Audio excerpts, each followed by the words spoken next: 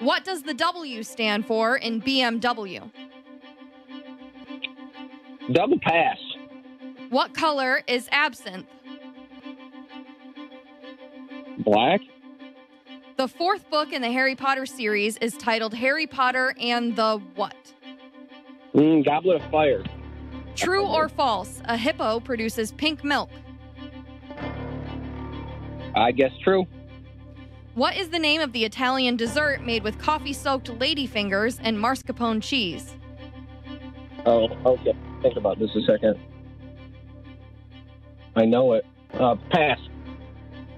What is the name of the Italian dessert made with coffee soaked ladyfingers and mascarpone cheese? Tiramisu. Time. That was enthusiastic. How you think you did, Ryan? I think I got probably a couple, maybe. Okay. All right. All right, Ryan. I wanted him to say, I got five. Yeah. yeah. For sure. Book it. Five. All right, Ryan's on hold. We'll wave Steven. He's walking slower than usual. Hmm. You don't seem too excited, Steve, but that's okay.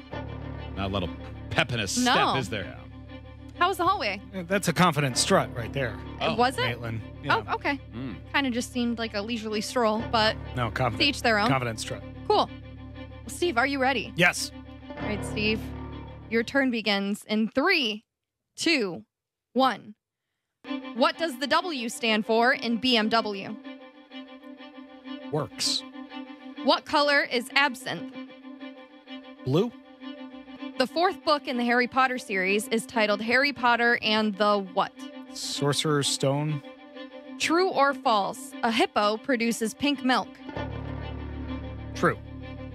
What is the name of the Italian dessert made with coffee soaked later ladyfingers and mascarpone cheese? Oh, um.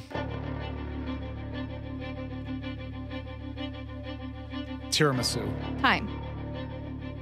I think you did, Steve? I got a couple. Right. Well, Ryan also thought he got a couple. So we will see who got the most couple right. Number one, what does the W stand for in BMW? Ryan was immediately a double pass. Steve said works. It is works. Steve leads one to nothing. Bavarian Motor Works, right? Number two, what color is absinthe?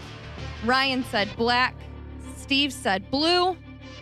It's actually green. Mm. Neither of you get it. Steve still leads one to nothing.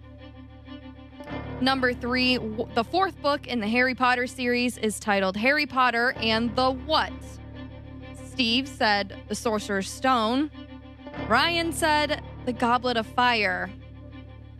Steve Sorcerer's Stone is the first book. Ryan is correct. It is Goblet of Fire, and we are oh. tied at one. That's the only one I knew. Number four, true or false, a hippo produces pink milk. You both said true. It is true. And we are tied at two. Number five, what is the name of the Italian dessert made with coffee soaked ladyfingers and mascarpone cheese? Ryan passed, came back around, said tiramisu. Steve thought about it for a little bit, also said tiramisu.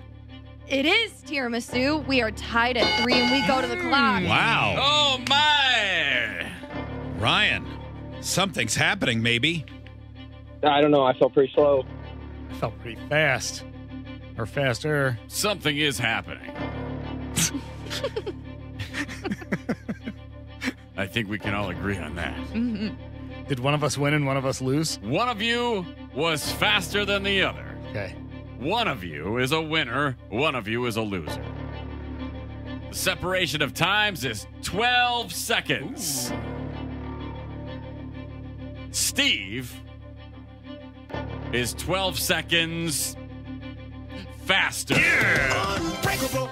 They alive, damn it. It's a miracle. All because you had to think about tiramisu, Ryan. I can't believe I struggled so much with that too. I was like, oh, tiramisu. Ryan, thank you. Appreciate you being a regular uh, listener, being a member of our idiot club. Thank you. Thought I was going to retire. All right. I thought you were too, bud. Thank Damn, you. not today. Dang it. Derp, Doctor.